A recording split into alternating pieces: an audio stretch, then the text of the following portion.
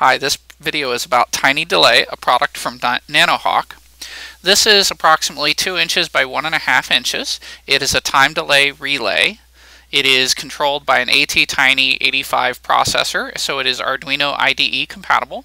For power, it uses a USB cable, which can be powered by a computer or a 5 volt wall transformer such as a cell phone charger.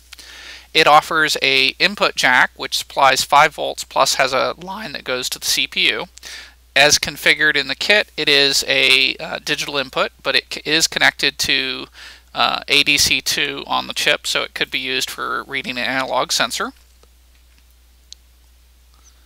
The kit also has a 6-pin ISP header for easy in-system programming, and it has an LED status light, which is green, which indicates the heartbeat and also the relay status.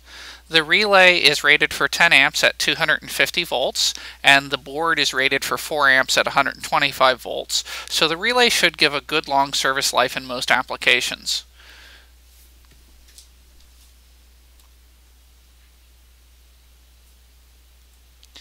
The um, relay also has a protective uh, filter on it for, for uh, ripple. So once the unit is plugged in, it uses the green LED flashes in 50 millisecond intervals to indicate heartbeat.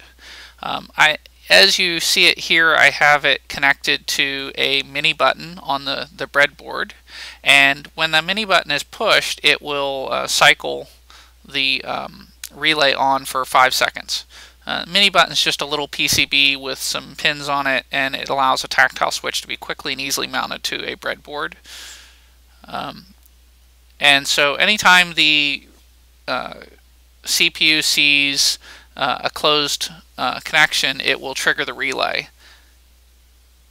And as you see, it, it goes there. The uh, green light almost goes solid. It, it flashes once per second, but it's not very easy to see that in the video. Um, it does use interrupts, so it's a very reliable way to detect a button push.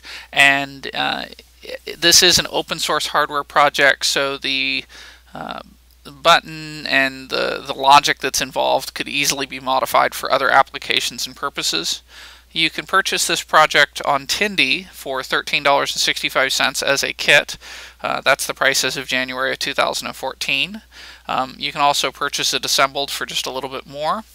Thanks for watching, and I hope you have a great day.